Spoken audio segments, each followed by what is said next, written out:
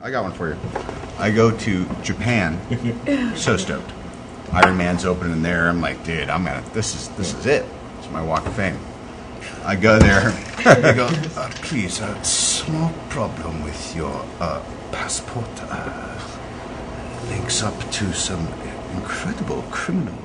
I'm like, yeah, yeah, yeah, but I'm, but I'm told that, well, you did not uh, make a claim of seductivity. I was like, oh, look, I retired, my assistant. Nah, nah, nah, there you go. All right, we would like to interrogate you. I was like, interrogate? Fuck. Uh, great. Six hours later, Oh my god. I'm there in Japan. I'm like, uh, I'm kind of like, well, uh, I don't have to make, you know, the first round robin.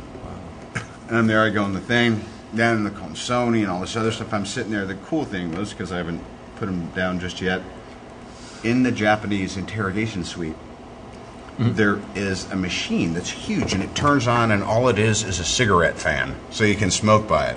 Hmm. So now I'm in there just like, Oh God, I don't have to wait till the luggage comes. the lady comes out and she started etymologizing. So, were you in jail or prison? I go, but. Uh, how long? Well, Sixteen months. Blah, blah, blah. Do you know the name? Well, the first infraction you had in 1995. I was like, you know what? I. It's hard for me to hold it because I've been arrested so many times. Goes, right, uh, we cannot uh, allow you enter to country. I was like, listen, uh, can you tell her what I'm saying? Thing? First of all, like, stop using these three phrases because it sounds like I- I'm going to have to call, like, you know, Amnesty International. Second, this and that, we dial it back. They decide six hours later that I can come in to do the press. But I must please never come to Japan again. want my god!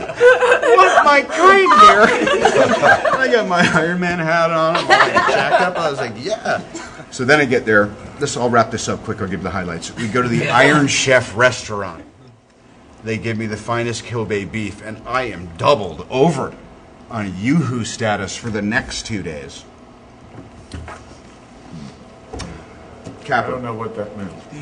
I, I ate a piece of Kobe beef, which is super expensive. I got parasites, and I was, and I was yoo-hoo. I was, uh, I was Brown Betty for two days. He has his own language. Then what happens is a Japanese robot shows up uh, on one of the like you know the red carpets, and there's this Japanese guy, and it's the real Iron Man suit. I'm like stoked. I love it. They don't know any of this has happened, and he carries in because the suit is so strong a 500 pound barrel of sake. Now, see, I'm going like I, I kind of have plans for Christmas. You should probably keep that away from me. they bring it in, and they wanted me to smash the sake bottle, the sake cap open with the robotic Iron Man. There's some wacky humor going on over there. Yeah, sounds like Listen, you're gonna have a used wow. Might as well be Japan. Those toilets, I, all oh, automated, like the Yeah. smoke too. It's in like the smoke. it's so in the- nice to warm. Right, they wash you off. I can't wait to go back. I got to get some They, expungement or they, something they, like they that. Spray. fumigate, they spray, they massage, they, Wow. they pat, they. Impregnate. They compliment. Hat, yeah. They hand you the. Oh, it's unbelievable. It's unbelievable. Wow. It's I've like heard this about little mist of daisies, like the spray. It's-